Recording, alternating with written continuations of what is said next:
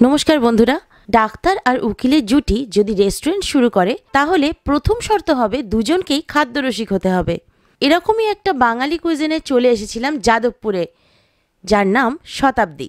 কই ঝাল, গোটা ভেটকির রোস্ট, গোটা রসুন আর চুই ঝাল দিয়ে খাসির মাংস। এরকম দারুণ স্বাদের বাঙালি রান্না, যা খুব কম জায়গাতেই চোখে পড়ে। এটা আমাদের স্পেশাল মেনু চুই ঝালে মাটন এটা প্রন প্রন আপাতত এদিকে সরিয়ে দিচ্ছি যে অনেক অনেক কিছু আইটেম এখানে রয়েছে। চলে এসছে এখানে ইলিশ মাছ চিংড়ি মালাইকারি। আচ্ছা আমার সঙ্গে রয়েছে এখানে শতাব্দী যার নামে রেস্টুরেন্ট নমস্কার। এখানে রয়েছে শতাব্দীর হাজবেন্ড চিকেন মহারানী। কই মাছের সর্ষে কই? সর্ষে কই।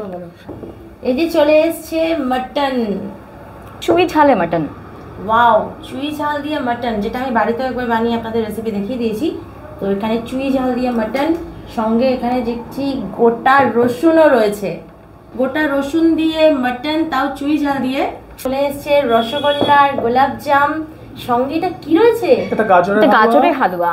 ওয়াও গাজরের হালুয়াটা দেখেই লোভ লাগছে এটা আমাদের নবদ্বীপের স্পেশাল ক্ষীর দই। দারুণ। ভালো লাগছে? দারুণ দারুণ লাগছে। আমাদের স্পেশাল স্টার্টার প্ল্যাটার এটা ইন্ডিভিজুয়ালিও অ্যাভেলেবেল আছে এইভাবে প্ল্যাটার চাইলেও নিতে পারে।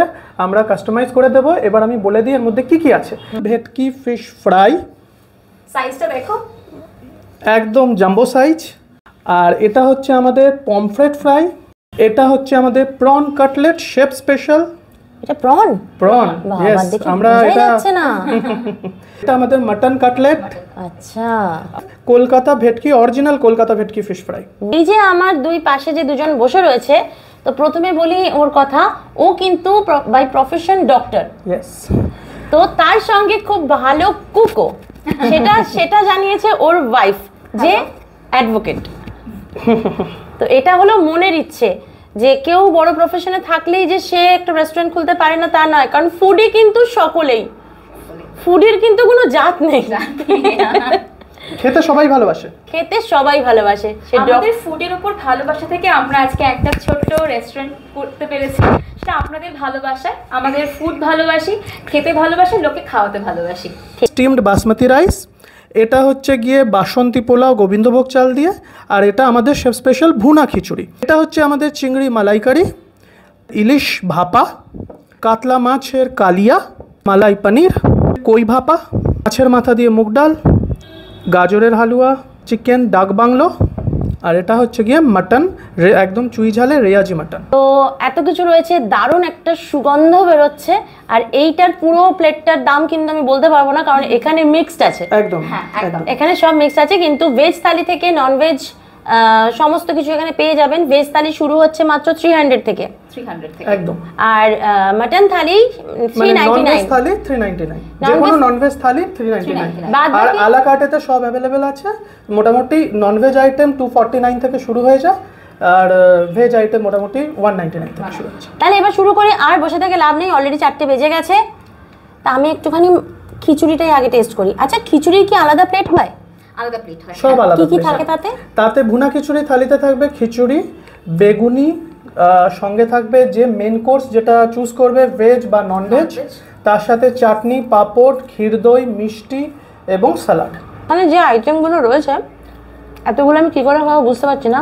তো এখানে অনেকগুলো মাছের রয়েছে আর আমাদের ফ্রাইসগুলো একদম আমাদের ইউএসপি মানে যারা যারা আমাদের ফ্রাইজ আইটেম ট্রাই করেছেন তারা কিন্তু প্রত্যেকেই বলেছেন আমাদের এই ফ্রাইজ আইটেম এক মাসের মধ্যে কিন্তু সবার কাছে সাড়া ফেলে দিয়েছে।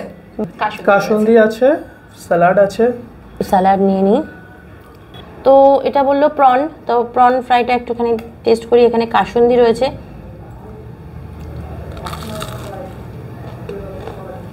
হুম বাড়াইটা একদম ক্রাঞ্চি ক্রাঞ্চি না থাকলে মানে একটা মিলিয়ে গেলে না ঠিক খেতে ভালো লাগে না। একদম। ক্রাঞ্চিটা দরকার আছে। এখন কিন্তু সেই তুলনায় গরম নেই একটু ঠান্ডাই হয়ে গেছে কিন্তু রিয়েলি বেশ ক্রাঞ্চি এটা এটা প্রন একদম বাটারফ্লাই করে বাটারফ্লাই করে আমরা প্রনটাকে পুরো বাটারফ্লাই করে ও তাই ভাবছি চোর আগে করে হয়ে গেল।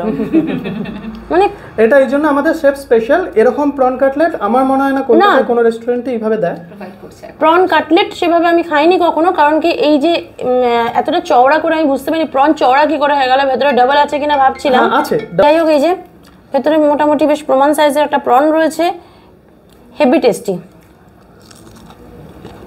সত্যি দারুণ টেস্ট তো আমি একটুখানি আমাকে সাজেস্ট করল যে একটু ভুনা খিচুড়ি দিয়ে মাটনটা খেতে। তো আমি একটুখানি মাটনটা খেয়ে দেখাচ্ছি। বেসিক্যালি আমি কখনো ভুনা খিচুড়ির সাথে মাটন খাইনি। তো এবার ফার্স্ট টাইম গেলাম। সত্যি বেশ ভালো লাগছে। আর এখানে এই মাটনটা কিন্তু রেওয়াজি খাসি যেটা একটু টেনে খেতে হচ্ছে। একটা চুই ব্যাপার থাকবে। আর তোমার টেস্টটা বোঝা যাবে। একদম।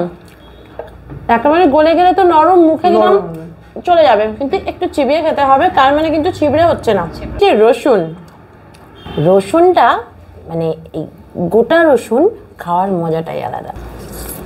অসাধারণ সত্যি দারুণ লাগল। তো এখানে রয়েছে গলদা চিংড়ি দু পিস চিংড়ি এই যে গলদা চিংড়ির মালাইকারি। আলাকাটাতে তিন পিস করে থাকবে। আচ্ছা আলাকাটা তিন পিস তিন পিস করে থাকে আর থালিতে কি দু পিস থালিতে দু পিস থাকে থালিতে দু পিস এলাকাটা তিন পিস চিংড়ি মালাইকারি নতুন করে কিছু বলার নেই? টেস্ট তো সেম দেখে যতটা স্পাইসি লাগছে অতটা স্পাইসি একটু মিষ্টি মিষ্টি হয়। তো সেরকম মিষ্টি রয়েছে। বাহ! চিংড়িটা কিন্তু বেশ ভেতর অবধি মানে যে কভারটা রয়েছে না সেটাকে বেশ ফাটানো হয়েছে যাতে ভেতর অবধি জুসটা ঢোকে। দারুণ লাগছে। চিংড়িটা একটু খেয়ে দেখি। হুম তো নরম কি করে হলো? হ্যাঁ ভেতরটা না বেশ সন্দেশ সন্দেশ টাইপের হয়ে গেছে। মানে অনেক একটু ম্যারিনেশনে থাকে একটু এ থাকে। যাতে একটু সফট হয়ে যায় কারণ চিংড়ি শক্ত হয়ে গেলে মানে ছিঁড়ে দু হাত লাগিয়ে হ্যাঁ ছিঁড়ে খেতে বড্ড কষ্ট ভীষণ অসুবিধা হয়। আর গলদা চিংড়ি খেতে সত্যি খুব কষ্ট মানে খুলে খুলে খেতে খুব কষ্ট। আবার এই চোকলাটা না থাকলে জিনিসটার অ্যাপিয়ারেন্সটা বাজে না একদম গুটিয়ে যাবে গুটিয়ে যাবে একদম লাগবে না। আমি ভীষণভাবে ফিশ লাভার ফিশ লাভার তাহলে তো ফিশ আমাদের আরও ফিশ আইটেম আছে যে নেহাত সময়ের অভাবে সব দিতে। পারিনি। যে আমরা এভরিডে প্রত্যেকটা আইটেম ফ্রেশলি প্রিপেয়ার্ড হয় ফ্রেশলি সার্ভড হয়।